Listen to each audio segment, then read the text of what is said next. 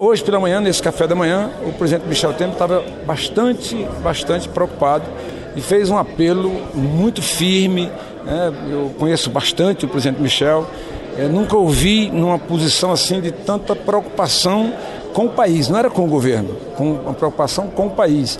As pautas né, que estão sendo elaboradas, com todo respeito, eu fui deputado 12 anos, mas as pautas que estão sendo, a pauta que está sendo elaborada na Câmara dos Deputados que está chegando ao Senado e que nós, é, muitas vezes aqui estamos convalidando essa pauta de votações que veio do, do, da Câmara é uma pauta extremamente perigosa, não para o governo, não estou discutindo apoio ao governo, não estou discutindo aqui é, a questão do governo no momento. Tô, nós estamos aqui discutindo uma preocupação com o Brasil, o Brasil de amanhã.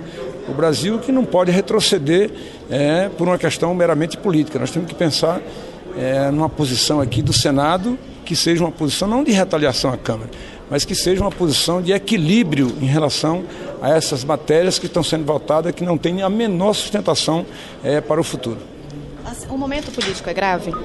O momento político é extremamente grave. Ninguém pode esconder que nós temos uma crise política extremamente grave, mas pior do que a crise política é a crise econômica que se alastra, né? e essa sim prejudica ao povo brasileiro, principalmente as camadas mais pobres da população.